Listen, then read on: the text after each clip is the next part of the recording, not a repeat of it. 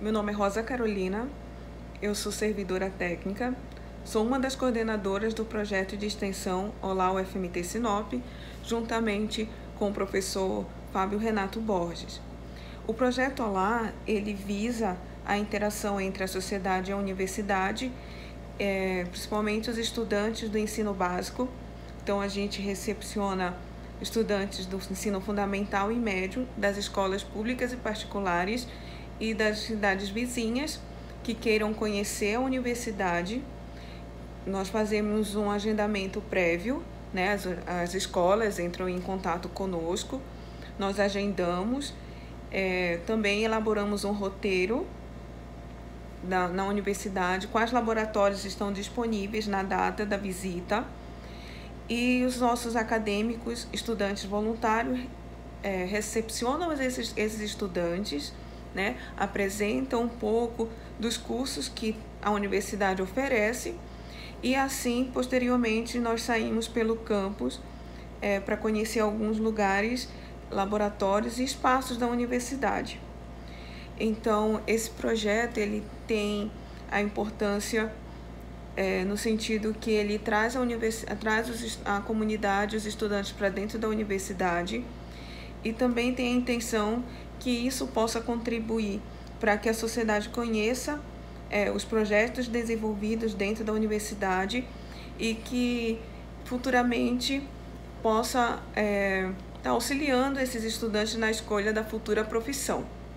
Então, é, o projeto ele tem ele, você pode entrar em contato com ele através das nossas redes sociais, que é o Projeto Olá, o FMT Sinop, no Facebook, também no Instagram, Projeto Olá, o FMT Sinop. Você pode nos encontrar ou então também entrar em contato pelo e-mail visitas ufmtsinop@gmail.com.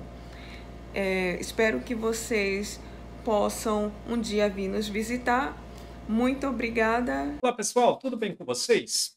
Meu nome é Fábio, professor Fábio Renato Borges, sou daqui da UFMT, um dos professores pioneiros aqui é, de Sinop, né? Nosso, nosso campus, é, ele começa a ter cursos regulares a partir de 2006, que foi a época que nós chegamos. É, nessa época, é, toda vez que a gente falava de universidade pública aqui em Sinop, você falava da Unemate. A gente sentia a necessidade de ser reconhecido e das pessoas soubessem que nós também estávamos na cidade, que a UFMT existia dentro de Sinop e que tinha cursos regulares e de ótima qualidade. Naquela época, junto com a professora Larissa, nós é, formamos um projetinho baseado no que a gente conhecia da Unesp de São José do Rio Preto. Surge assim o Conheça a UFMT Sinop. Né? Bom, depois de um tempo eu saí é, para fazer minha qualificação, meu doutorado. Né? A professora Larissa também saiu. E nesse momento, é, a partir daquelas ideias do Conheça o FMT Sinop, surge então o projeto Olá o FMT Sinop. Esse projeto é atualmente coordenado pela técnica Carolina, certo? Rosa Carolina, e, e ele traz um pouco da nossa ideia inicial, que era a divulgação da UFMT dentro de Sinop e região. Então a gente sempre convida para que todos venham e conheçam o nosso campus. Quem quiser pode entrar em contato com a nossa equipe. A gente tem um site aí, uma página no Facebook, uma página no Instagram, que depois vai ficar à disposição. E tanto eu quanto a professora Rosa Carolina estamos à disposição para recebê-los e ficamos aí aguardando que vocês venham e conheçam a UFMT Campus de Sinop. Um grande abraço a todos, até breve. Tchau.